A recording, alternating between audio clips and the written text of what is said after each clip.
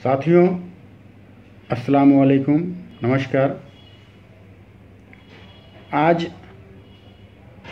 सत्ता पक्ष के लोग, जो जिसके समर्थन से हुकूमत चल रही है, वो लोग सड़क पर बैठे नज़र आए और टोरेंट के ख़िलाफ़, टोरेंट आई भी इन्हीं की मर्ज़ी से, टोरेंट को खुलवाया भी इन्होंने ही।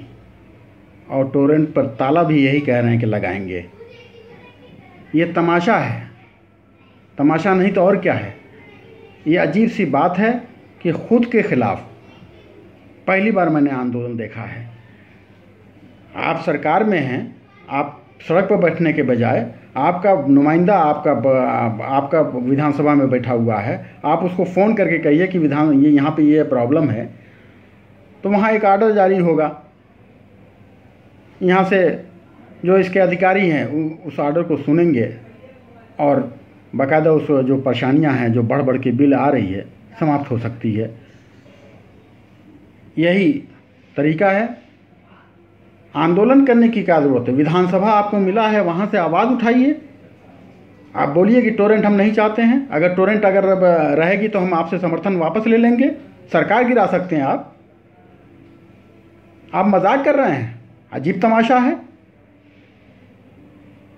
ताज्जुब हो रहा है कि पहली बार मैंने देखा सत्ता के लोग खुद सत्ता के खिलाफ अपने खिलाफ आंदोलन कर रहे हैं।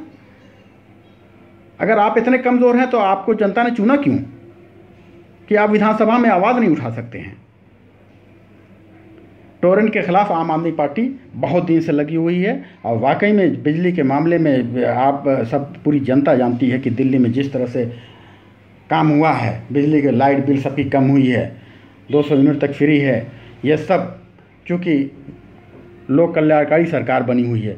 और उसी को देखते हुए हम लोग यहाँ पे कई बार बिजली के मामले में ये मानते हैं कि बिजली जो है बहुत ज़्यादा यहाँ महाराष्ट्र में सबसे ज़्यादा प्रोड्यूस करती है बिजली और सबसे ज़्यादा महँगी दी जाती है। इसलिए इसके ख़िलाफ़ हम लोग टोरेंट के ख़िलाफ़ आंदोलन कर चुके हैं। टोरेंट के ख़िलाफ़ हम लोग भूख हड़ताल कर चुके हैं। चीफ मिनिस्टर से लेकर ऊर्जा मंत्री एक नाथ शिंदे, जितने भी मिनिस्टर हैं सबको कलेक्टर से लेकर के सबको हम लोग लेटर दे चुके हैं। डॉक्टर अबू अलतमश फैजी साहब इसके लिए कई बार लेटर, कई बार और डेलीगेशन आम आदमी पार्टी का जा करके मिल चुका है।